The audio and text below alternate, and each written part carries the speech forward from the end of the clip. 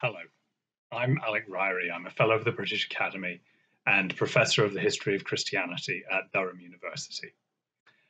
And in this talk, I want to introduce you to a man named Robert Robertson.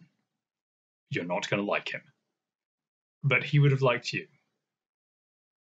He was an Anglican priest. He served St. Paul's Parish in the island of Nevis in the Caribbean between 1707 and 1737. And when I say served, I mean he served the small population of white plantation owners, not the vastly larger population of enslaved Africans on the island.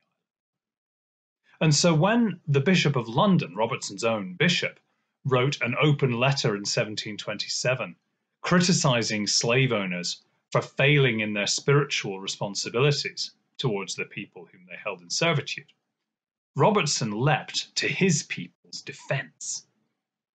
His pamphlet, Defending the Slave Owners, published in London in 1730, is a pretty remarkable text.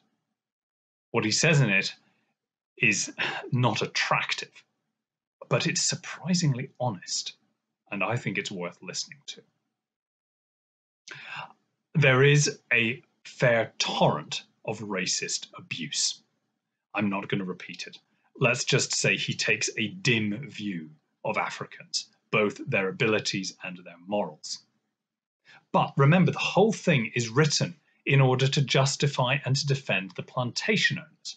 And so his reason for insulting these enslaved Africans is to argue that nobody would run an estate with a workforce like that if they had a choice. The planter, he says, would purchase none of them if he could help it. He buys them because, as things stand, they are absolutely necessary to sugar making. And that last claim, at least, is more or less true. No one in the 18th century Americas managed to make a plantation economy function without slave labor. After all, it's hard to compete with a labor force which doesn't need to be paid and which can be literally worked to death. Robertson invites us to pity the slaveholders' plight, compelled as they are to use such an intractable workforce. He even says that the slaveholders who are forced to run their estates in such a way are not much more than slaves themselves and deserve our sympathy. I told you you weren't going to like it. So let's spend a moment enjoying the warm glow of condemning this man we're better than he is. And yet, Robertson does not stint in his description of the evils of what he calls this horrid slavery. The kidnapping, the torture on which the slave trade depends, the terrible death rates for captives, he doesn't conceal the brutal work regime, which, as he says, admits of as little respite from labour as perhaps any sort of business whatsoever anywhere else, including 24 hour shifts working the sugar boilers. And he tells us that if the nature and circumstances of this uncouth trade were widely known, in particular, the millions of lives it destroys and what little care is or perhaps can be taken of their souls. If this, these things were known, he says, then Christian nations might be moved to abolish it, if it weren't for the fact that they were all already so deeply implicated in it. Because as he points out, they know, they all know that if any one of them renounce the trade, then the others will simply step in and take their place. And the same is true on the individual scale of any one plantation owner. And so, and this is the fundamental maneuver he makes in this book, he asks his tender hearted readers, us, to imagine that we ourselves had inherited a plantation in the Caribbean and found ourselves owning a sugar estate and hundreds or thousands of slaves. The best natured and holiest man that now lives, he argues would end up doing exactly what all the others do. Now, of course, this is not true because we would always have the option of not engaging in the slave trade or the sugar business at all, of setting free any slaves that we might own, of separating ourselves from the whole business. And yet, in a deeper sense, Robertson is surely right. Perhaps a heroic few of us, if some evil spell dropped us in those circumstances, might choose to resist, to abandon our lifestyle, our business, our family, our community, our home, simply because that home rested on a foundation of human blood. But most of us would take the easier path. Work with the system. Tell ourselves that we were going to make it better and put a spoonful of sugar in our tea. Robertson was withering in his attack on the do gooders back home, who laid all the blame on the slaveholders without recognizing that they themselves, the customers whose demand had created the sugar industry, were the true foundation on which the slave economy was built. But he saved his greatest for uh, contempt for those, like his own bishop, whose response to slavery was to attempt to have Christianity grafted onto it, to pretend that slavery could be improved or ameliorated. Instead, the slave economy was, he saw, and he was surely right, simply a vast and irredeemably terrible fact, a blunt reality which was what it was and could not be sweetened. The only courses of action were to abolish it entirely which to Robertson seemed both economically and politically impossible, or to live with it.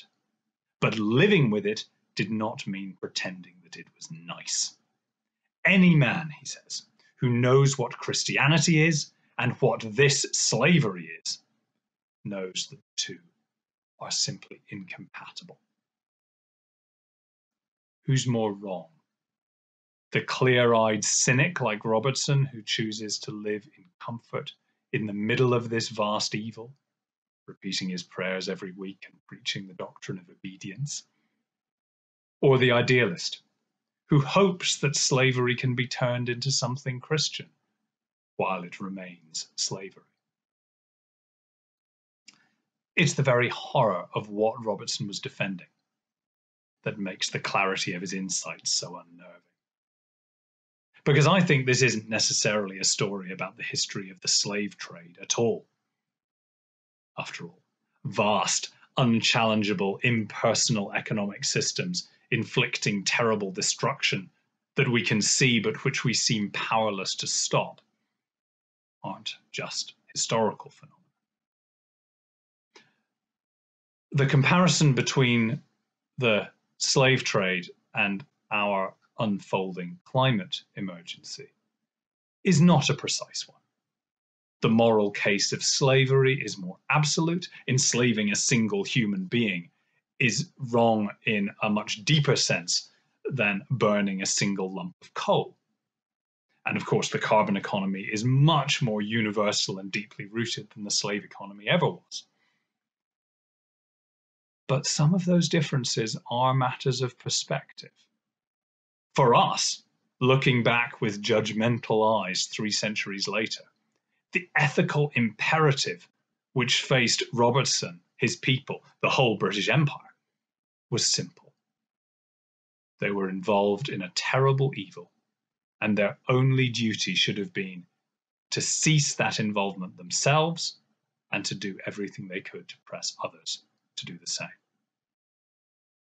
But are we faced with choices which will seem just as simple to our successors 300 years later. Successors who will say they knew what they were doing, and yet they continued flying planes and eating meat and using concrete. They should have cut themselves off from the carbon economy.